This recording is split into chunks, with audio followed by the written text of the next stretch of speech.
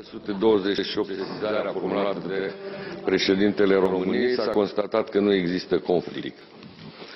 În dosarul 629, sesizarea formulată de grupul parlamentar al Partidului Liberal din Senat cu privire la articolul 173 din regulamentul Senatului, S-a constatat că a devenit inadmisibilă pentru că între timp s-a modificat uh, regulamentul și după cum știți s-a modificat și legea privind statutul senatorilor și deputaților, a fost pusă de acord cu decizia Curții Constituționale și cu Constituția articolul 76 alineatul 2.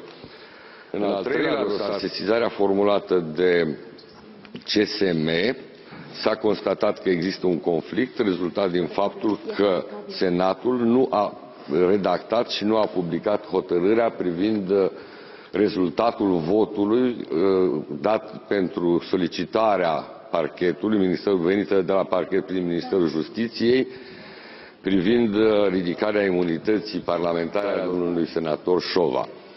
Uh, Curtea a obligat Senatul să redacteze și să publice această hotărâre în monitor oficial și să o comunice parchetului. Vă mulțumesc. Hotărâre de adoptare sau de respingere, domnule președinte? Au fost 79 de voturi atunci. Nu sunt eu abilitat să calific hotărârea acum. Dar se va ține cont de statutul care era în vigoare atunci sau de modificarea adusă în momentul în care se E publică? un principiu al dreptului, tempus regit actum. Asta înseamnă?